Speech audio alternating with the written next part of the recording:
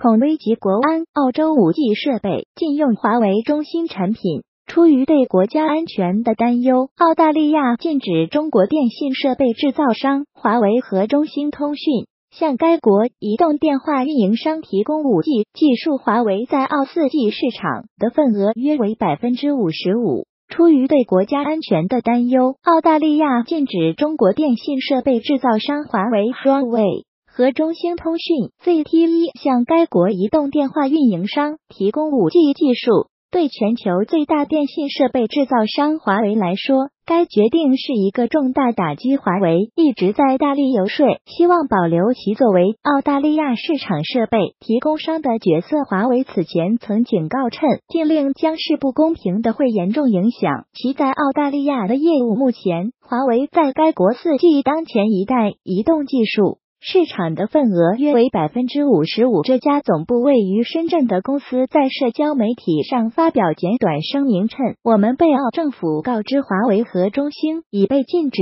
向澳大利亚提供五 G 技术。We have been informed by the government that Huawei and ZTE have been banned from providing 5G technology to Australia. This is an extremely disappointing result for consume, R S Huawei is a world leader in 5G, has safely and securely delivered wireless technology in Lost for close to 15 years. Huawei Australia at Huawei 二零一八年八月二十二日，澳大利亚是世界上第一个明确禁止华为向其移动电话运营商提供 5G 设备的国家。尽管美国安全机构。出于国家安全考虑，建议运营商不要使用华为的设备。二零一二年，出于安全方面的考虑，华为被禁止向澳大利亚价值四百九十亿澳元的国家宽带网络。National Broadband Network 供应设备引发了两国间的外交争端，阻止华为进入该国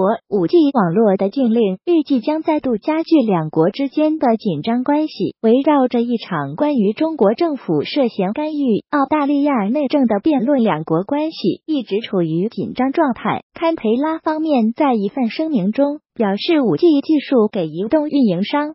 带来了新的安全挑战，因为它提供了一种通过处于网络边缘的设备绕过传统安全控制的方法。他指出，有一长串的网络事件显示，网络行为体针对的是澳大利亚人。这可能会危及客户数据的保密性。该声明称，可能受到与澳大利亚法律相冲突的外国政府法外指示的供应商的参与，也许会导致运营商无法充分保护五 G 网络，免受未经授权的访问或干扰。现今，多数先进国家为了防止中共渗透其科技。对于中国的投资审查愈趋严厉。早前日经新闻曾经分析，澳洲对于华为的处理方式可能会成为其他国家的借鉴。如今，澳洲中断华为的五 G 合作开发，不排除其他国家也有跟进的可能。中国于去年通过国家情报法，其中一条指出，任何组织与公民都应当依法支持。